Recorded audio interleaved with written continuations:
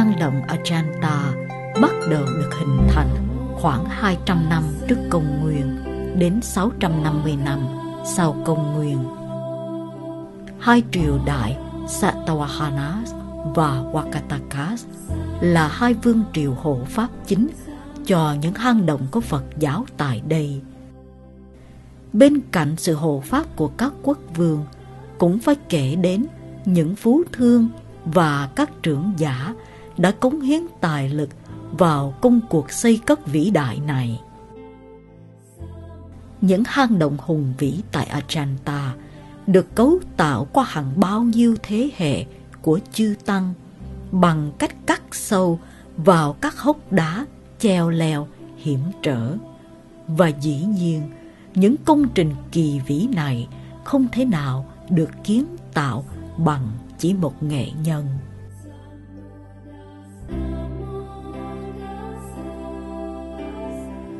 Nếu như người ta nói rằng xuất sắc có thể thực hiện được qua những nỗ lực của con người, thì hoàn mỹ là món quà của Thượng Đế.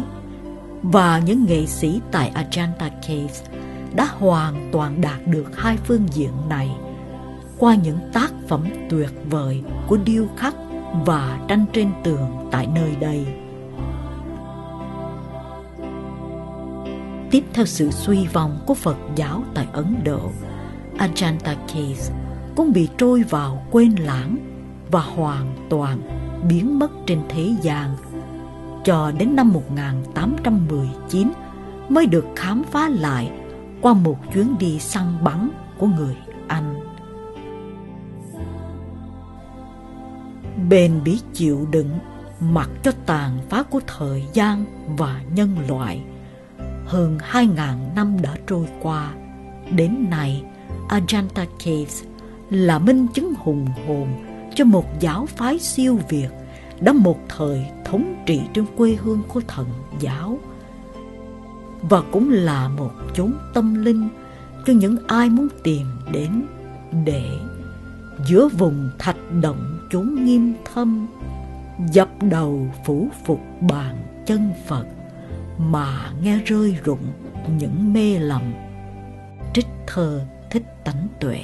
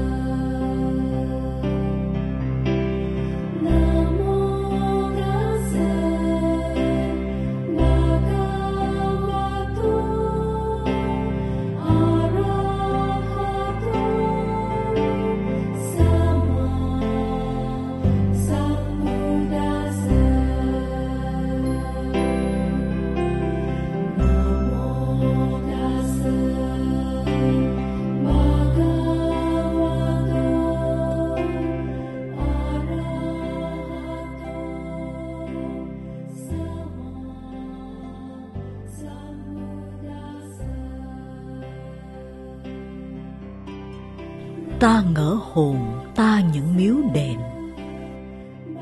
Từ trong vạn cổ kiếp không tên. Vẫn nghe như tiếng ngàn xưa gọi. Tâm thức trở mình, sau lãng quên.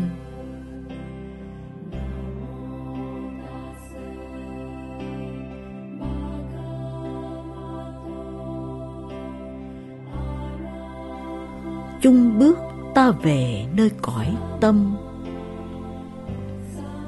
Giữa vùng thạch động chốn nghiêm thâm, dập đầu phủ phục bàn chân phật, mà nghe rơi rụng những mê lầm.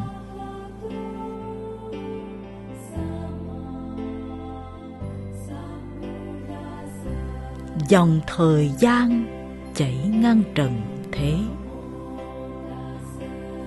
Muôn sự chìm trong lẽ sắc không. Tiền nhân nay biết tìm đâu nữa. Bài kinh vách đá đã rêu phong.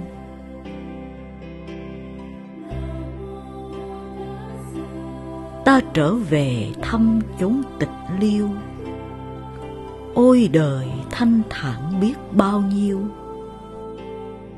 Buôn ba vạn kiếp nơi trần mộng. Sao bằng khoảng khắc sống tiêu diêu?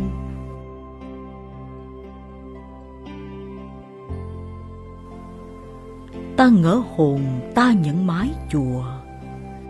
Sau làng xương phủ kiếp hoang sơ ta về gióng lại hồi chuông sớm. Một thoáng thiện tâm chạm bến bờ.